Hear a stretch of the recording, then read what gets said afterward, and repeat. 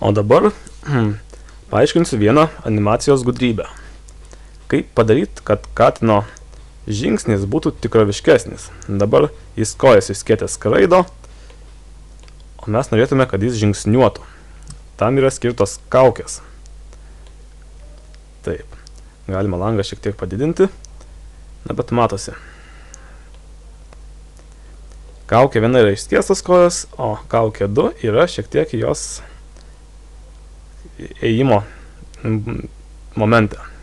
Dabar kiekvienam žingsnėje išvaizdą mes galim tiesiog paimti kitą kaukę ir žiūrėti, kaip čia viskas atrodo. Dabar labai greit viskas vyksta, netgi per greitai.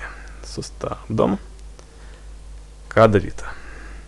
Galima šiek tiek luktelti. Kiekvieną kartą pakeitus kaukę, luktelime, kiek čia mes?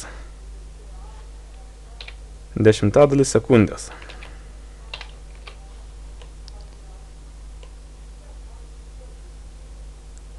Dabar vėl šiek tiek netiksliai. Ta tikslumą reikia patikrinti, nu kaip, reikia patiems nustatyti bandymų ir eksperimentų būdu, galvojant, kiek tos kojos turi, kiek pats katinas turi pajudėti ir kiek kojos turi pasikeisti. Galbūt reikia eiti ne 10 žingsnių, o 20. Šiek tiek panašiau. Tai tokia polka šoka katinas. O kas jeigu bus 30?